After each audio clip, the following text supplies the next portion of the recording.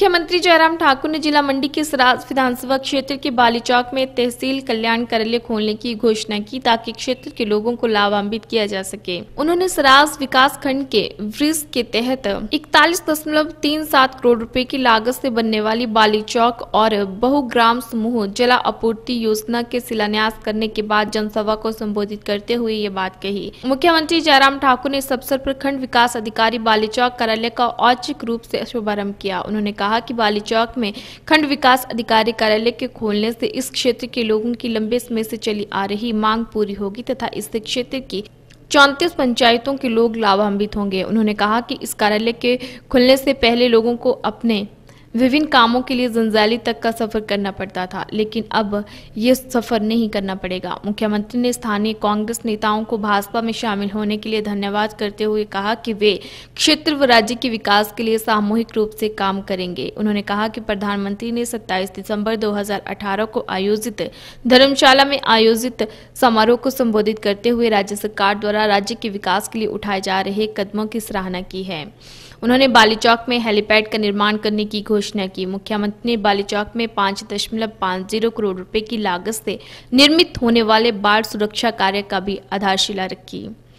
इस अवसर पर बाली चौक विकास खंड की 34 ग्राम पंचायतों के प्रधानों व शक्ति केंद्रों के सदस्यों ने मुख्य अतिथि का स्वागत किया। और स्वाभाविक रूप से इस बात को लेकर के मन में कई तरह से हमारे विचार थे और एक तो यही बात आती थी कि बाली चौकी क्षेत्र में जो है हमको विकास के लिए बहुत सफ़र तय करना पड़ता, लंबा सफ़र तय करना पड़ता है। और ये भी बात थी, बहुत सारे लोगों के मन में। इंतज़ार के साथ साथ पे सफ़र करने के साथ विकास के लिए बहुत लंबा इंतज़ार करना पड़ता। जैसे आदरणीय श्री महेंद्र सिंह जी ने बात कही, ये बातें हमारे लिए सोचने के लिए भी संभव नहीं थी, करने की तो दूर की बात है। जो आज हम अपने सामने होते हुए देख रहे हैं। एक वक्त होता था जब हम अपने क्षेत्र में आते थे, लोगों के बीच में अगर पाँच लाख रुपए की कोई योजना, दस लाख रुपए की अगर योजना जिसका ज़िक्र करते थे, लोग ज़मीन छोड़ करके, खड़े होकर के तालियों से उसका स्वागत करते थे। और आज आपके बाली चौकी क्षेत्र में एक ही पानी की योजना जिसकी, जिस योजना पर जो है लगभग लगभग जो है वो बयालीस करोड़ रुपए खर्च होगा उसका हम शिलान्यास करके आए बीस पंचायतों को हमने जोड़ने की बात कही, हमने कहा कि बीस पंचायतों का ब्लॉक कहा कि छोटा बन रहा है। मैं द्रंग विधानसभा क्षेत्र के सभी साथियों का, प्रधानों का भी धन्यवाद करता हूँ। वहाँ के विधायक महोदय का भी धन्यवाद करता हूँ। हमने उनसे बात कही कि क्यों ना हम साझा हो जाए, इकट्ठा हो जाए इस मुद्दे पर। और इस मुद्दे पर हम जो है थोड़ा द्रंग विधानसभा क्षेत्र का, थोड़ा सराज विधानसभा क्षेत्र का सबको मिला करके जो है एक ब्लॉक बना करके हम आगे बढ़े। तो मुझे इस बात की खुशी है कि सब लोगों ने हमारे उस आग्रह को स्वीकार किया।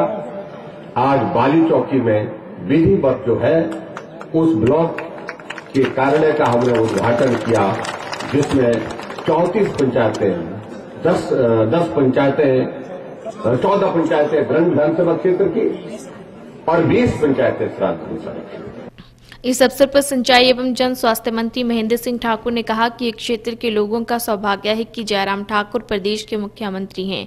उन्होंने कहा कि ये मुख्यमंत्री के प्रयासों के कारण है कि राज्य को राज्य की विभिन्न नदियों के तटीकरण के लिए केंद्र से चार हज़ार आठ सौ बानवे करोड़ रुपए की फ्लड प्रोटेक्शन परियोजना प्राप्त करने में सफलता मिली है। इस अवसर पर विभिन्न प्रमुख कांग्रेसी नेता भाजपा में शामिल हुए।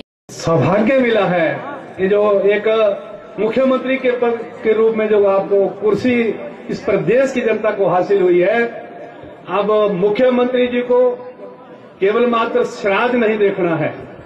श्राद्ध श्राद्ध वासियों ने देखना है, यहाँ के पार्टी के कार्यकर्ताओं ने देखना है, मुख्यमंत्री जी को पूरा प्रदेश देखना है। इसलिए ये दायित्व, इस दायित्व के लिए मेरा आपसे विनम्र आग्रह रहेगा कि आप सभी भाई बहन जो है मात्र सिराज तक ही नहीं, आप कुल्लू जिला की तरफ़ भी बढ़े, आप मंडी जिला को भी संभाले, आप पूरे हिमाचल प्रदेश, में जहाँ जहाँ भी आप पार्टी के लिए काम कर सकते हैं, आप काम करें, ताकि लगातार सराज को जो ताज मिला है, वो लगातार 25 वर्षों तक, इस प्रदेश में बरकरार रहना चाहिए। आप सबको बधाई, आपका धन्यवाद।